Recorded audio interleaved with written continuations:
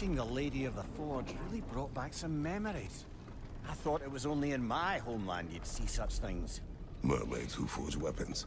Aye. I remember very fondly a lake nymph called Nimue. Very talented with a sword. Mimir. I meant that literally. Shame on you.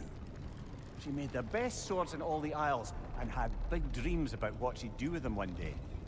I wonder what became of her.